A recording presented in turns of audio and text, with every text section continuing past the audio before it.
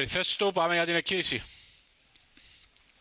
Έχει δοθεί εκκίνηση, έχει καλή εκκίνηση ο Βαρόνο Ρότζερ αλλά και ο Σκουρουβίνος από την εξωτερική και στην εσωτερική και ο Χαβάη Ευρωπαίος που θέλει και αυτό στην πρωτοπορία. Τελικά ο Βαρόνο Ρότζερ θα πάρει την πρωτοπορία από το Σκουρουβίνο που το επιθετείται κοντά του. Στο κάγκελο Χαβάη Ευρωπαίος αλλά και ο Σπίκερ σε καλή θέση.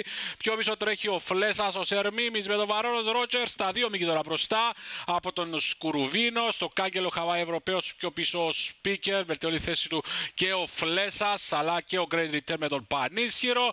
Πάμε για το 700 πάντα μπροστά ο Βαρόνος Ρότσερ. Είναι δύο μήκη μπροστά από Σκουρουβίνο, Χαβάη Ευρωπαίο αλλά και Σπίκερ, ο οποίος ε, βελτιώνει συνεχώς τη θέση του. Πιο πίσω και ο Φλέσας. 500 Βαρόνος Ρότσερ εξακολουθεί να είναι μπροστά.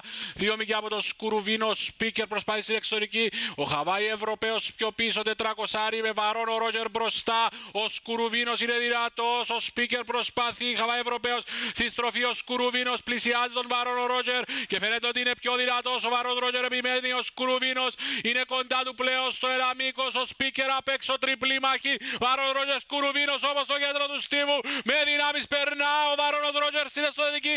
Επιμένει όμως ο Σκουρουβίνος τώρα θα απομακρυνθεί από τον Βαρόν Ρότζερ απ' έξω είναι και ο Σπίκερ. Σκουρουβίνος θα κερδίσει. Βαρόν Ρότζερ και Σπίκερ και ο Πανίσχυρος πιο πίσω. Ο Σκουρουβίνος λοιπόν θα φτάσει στη νίκη